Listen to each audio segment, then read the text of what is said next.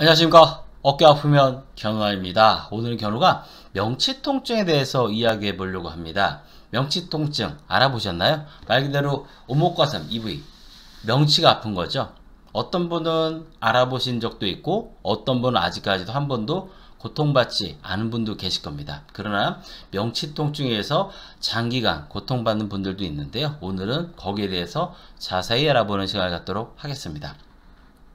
땡겨진 식사, 때이른 식사, 불규칙한 식사, 자극적인 음식, 지나친 다이어트 등이 일상화되다 보면 식도 점막이나 위장을 손상시켜서 만성 위염이라든가 역류성 식도염이라든가 위축성 위염 등을 유발할 수 있습니다. 그런데 여기서 문제가 되는 것은 다행히 원인을 바로 찾을 수 있으면 좋지만 뭐 만성 위염이라든가 역류성 위염이라든가 위축성 위염 이런 등으로 원인을 바로 찾을 수 있어 거기에 맞는 적절한 치료할 수 있으면 좋지만 내시경, MRI 등의 각종 검사를 해도 별다른 원인 없이 명치 통증이 지속되는 경우입니다.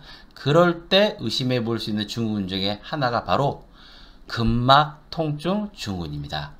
근막 통증 증후로 명치 통증이 발생하기도 하고요. 명치 통증과 별개로 근막 통증 증후군이 발생해서 콜라보로 증상이 병행되면서 상당한 고통을 받기도 합니다. 근막 통증 증후군요. 인생을 살아가면서 누구나 한 번 이상 만난다는 증후군은요. 감기나 근육통처럼 쉽게 앓고 지나가는 사람이 있는 반면에 누구는 수개월에서 수년 동안 상당히 고통을 받기도 합니다. 그럼 근막 통증 증후는 뭘까요? 근육을 싸고 있는 막을 근막이라고 하는데요. 여기에 trigger point라는 통증 유발점이 잡히면서 뻐근함, 결림, 당김, 쪼임 등 이상한 통증이 생기는 겁니다. 우리가 통증 통상 통증이라고 하면 아픈 거예요. 두드려 맞은 거 아픈 것처럼 하여튼 통증이에요. 무릎팍 같은 거 뭐 삐면서 찌면서 아픈 경험 있잖아요. 그런 걸 통증 통상 통증이라고 하는데 근막 통증 중에 통증이라고 하는 것은 뻐근함, 결림, 당김, 쪼임 등의 이상한 통증을 말하는 것입니다. 우리가 아는 통증과 조금 다르죠.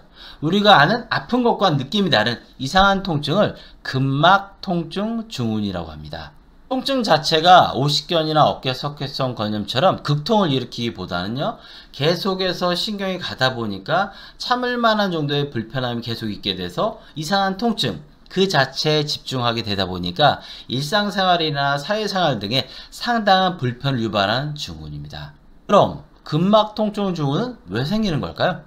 아직까지 정확한 원인이 밝혀져 있지 않지만 외부적, 내부적으로는 어떤 것들이 문제에 관련돼 있거나 악화시키는 것들은 알고 있어요. 외부적으로는 외상이나 습관화된 잘못된 자세가 주 원인이고요. 거기에 과음이나 과로, 스트레스, 불규칙한 생활 습관 등이 더해지면서 증상이 더욱 발전하게 됩니다.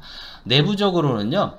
지나친 자기 통제나 자기 절제, 스트레스에 민감한 경우, 집요하면서 완벽주의적인 성격 등에서 발생하기 쉬우며 일부에서는 별다른 원인 없이 특발성으로 발생하기도 합니다. 그럼 근막 통증 증후는 어디에 생기는 걸까요?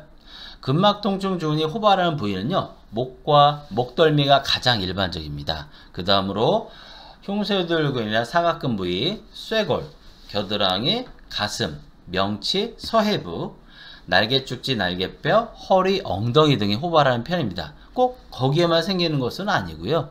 근육이 있는 곳이라면 어디든지 생길 수 있는 증후군 중에 하나가 바로 근막 통증 증후군입니다.